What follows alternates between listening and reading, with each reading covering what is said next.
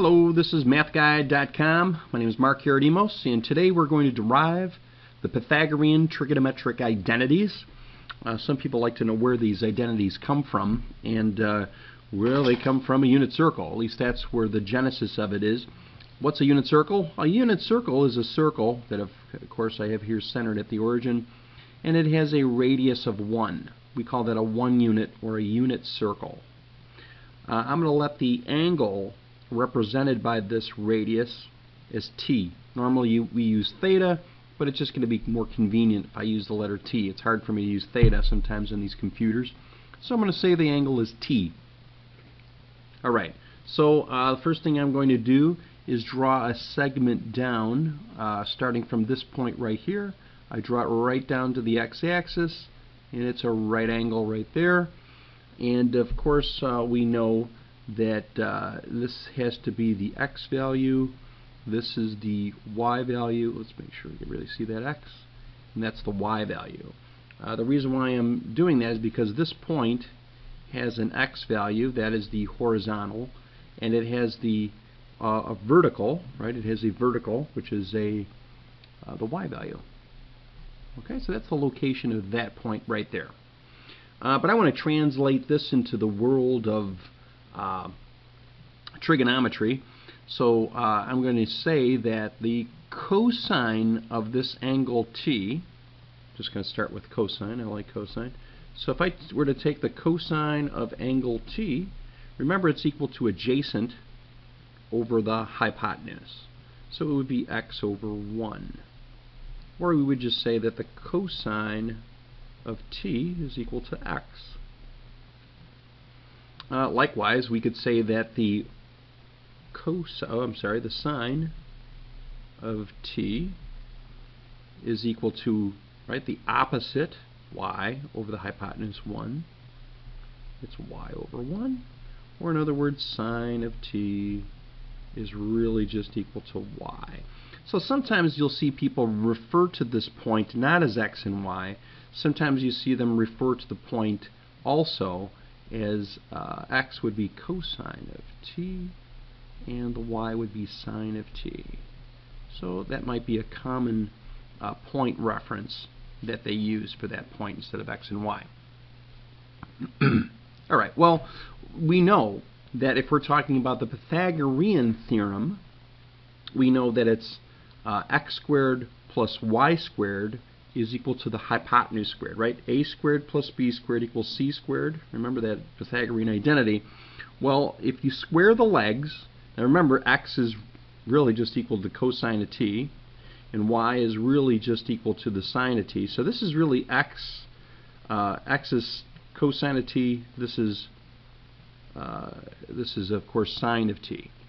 So instead of me going a squared, right, a squared plus b squared equals c squared, right, where these are legs, this is the hypotenuse. Instead, I'm going to say this is x squared, or I can call this x squared. It doesn't matter. These are the two legs, so I could either one of these is legs.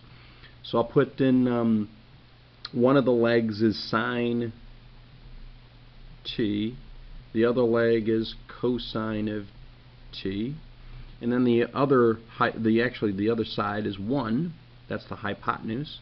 Now remember if you square the legs and you square the hypotenuse I have to add these two guys together and it's equal to the square of the hypotenuse. So you can see we have our first trigonometric identity right here. We got sine squared t plus cosine squared t is equal to 1 Alright, so there you go. There's our first trigonometric identity right there. Alright, there's our first one. Well, you know, there are two more. So, uh, and the other way you get the other two are actually quite simple. Uh, you're going to take that first Pythagorean identity that we came up with, right? We just came up with this one, and we'll end up dividing it. And it depends on what we divide it by. Depends on which other Pythagorean identity we get. So let's say I'm going to divide everything, divide all terms by the sine squared of t. So I'm going to divide everything by sine squared t. right? I could do that with any equation. So what am I going to get? This is going to be 1.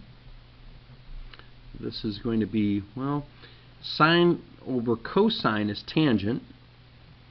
Uh, sine squared over cosine squared is tangent squared.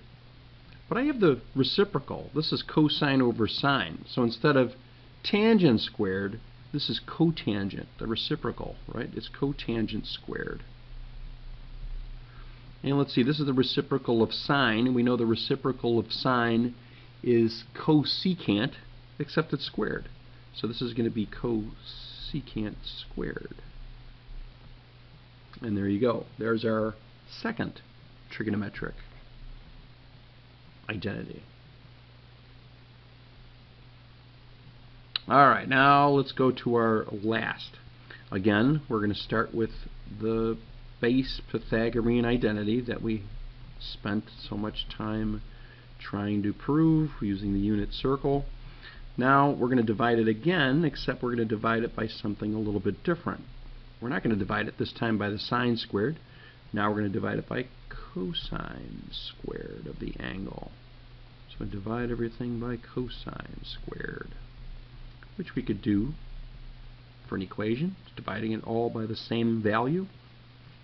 All right, this one should be a little bit easier. Uh, let's see, sine over cosine, that's tangent.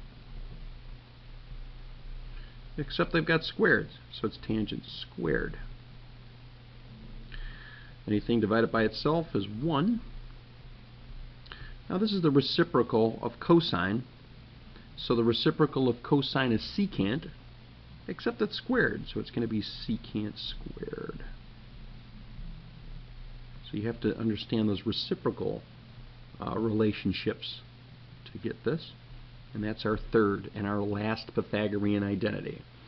Alright, so it took a little bit of work to understand this first one, but once you get the first one down, it then, you know, it, it leads to the other two.